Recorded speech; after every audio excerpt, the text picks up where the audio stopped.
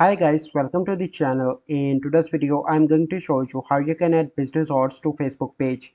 Before getting into this video, must subscribe to our YouTube channel and click on the bell icon.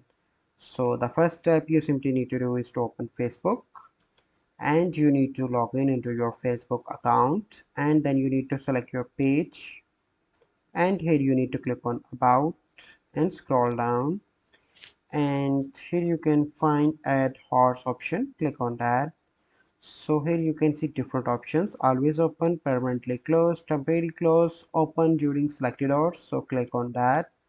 And you can select hours on monday and closing.